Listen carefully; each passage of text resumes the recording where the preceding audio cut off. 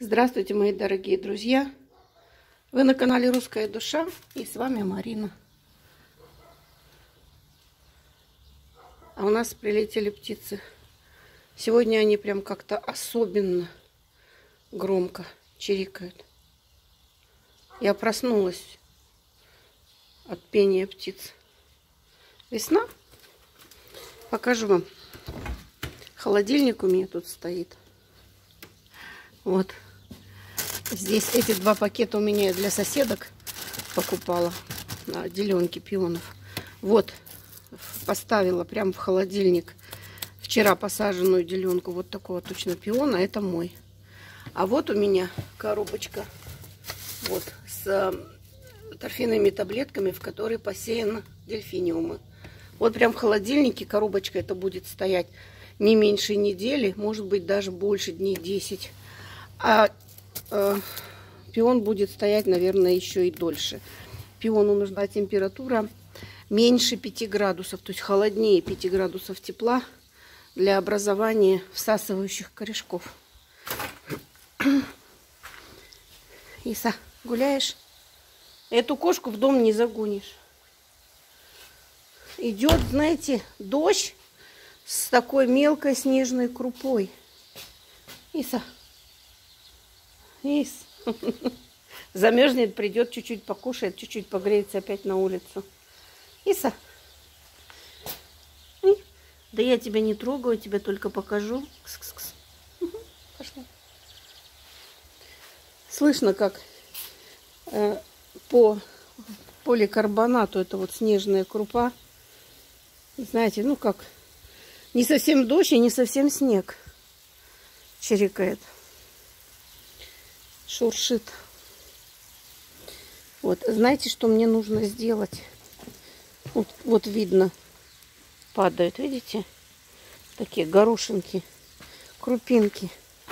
Мне нужно включить насос дренажный, потому что тепло на улице, невзирая на эту снежную крупу, тает. И мне кажется, уже полный колодец. Это у нас дренажный колодец. Давайте посмотрим. Сюда слепой полный. Видите? Вот. Надо срочно включить. Кабель у нас, вот видите, вот он идет из колодца. Он был у нас продернут под, под землей. Вот, вот в этой ПНД трубе. Но насос перегорел, нам пришлось его заменить. И муж еще вот этот новый кабель не продернул. Все делалось в срочном порядке. Что такое? А что случилось? Что такое? Так, и надо включить. У нас розетка, вот она. Тут их вообще много розеток. Вот, видите? Мне нужно включить в розетку. А Иса, ты мне что, помогать пришла? Вот так вот. Еще попади, мне ж не видно. Ой-ой, как же попасть-то? О, попала. Все, воткнула. Насос заработал, будет сливать. Иса, чего тебе нужно, девочка? Вот. Все тает. А чуть потеплее станет, просто сейчас еще по ночам обещают, могут быть морозы. Я этот горшок с пионом перенесу. Кто знает, у меня здесь в саду пионы вот так вот идут. Вот они, видите, остатки их вот так вот обрамляют полностью, обрамляют плодовый сад. Вот это все пионы. Когда эти кусты разрастутся, зрелище, конечно, будет шикарное. Птицы разошлись. А я же сплю с открытой форточкой. И меня просто разбудили птицы. Вот так. Вот, да?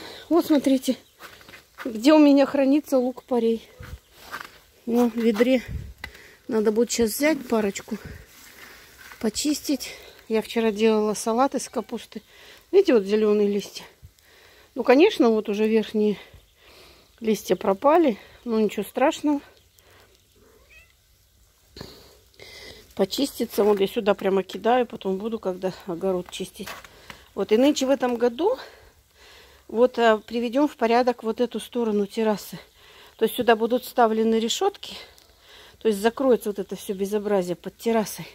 Вот это все, вот эти наросты все клея а, будут оббиты, все будет подмазано и заново покрашено. То есть приведем здесь все в порядок.